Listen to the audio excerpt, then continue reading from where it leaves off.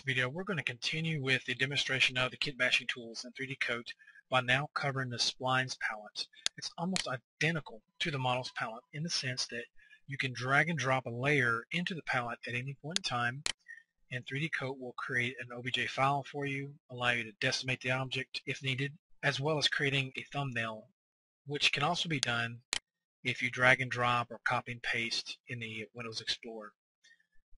The difference here is that not only will it replicate along a path that you create with the Curves tool, but,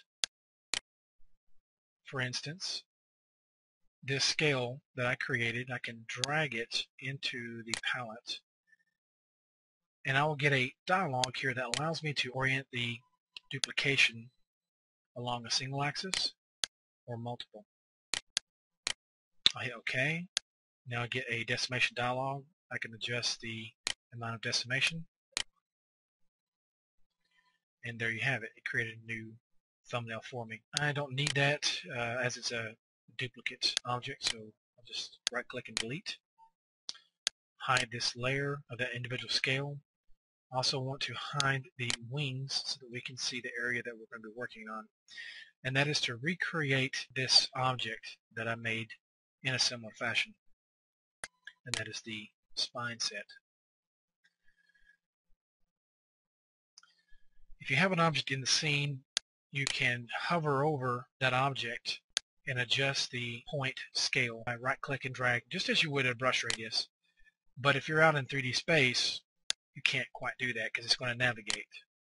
You could adjust it here, but you won't see the point. So the best option is to use your bracket keys on your keyboard. I'm now going to turn symmetry center snap-on. I'll make sure I have symmetry turned on. And generally you'll see that little symmetry plane when you are close enough to the center.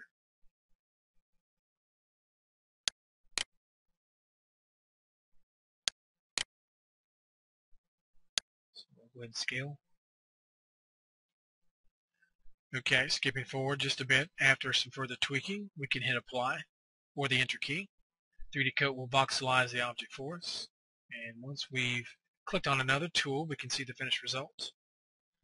Thereafter, we can go in and sculpt some randomness or further modify the form with the Pose tool or the Move tool. And that should conclude this demonstration of the kit bashing tool set using the Splines palette in 3D Coat. Thank you for watching.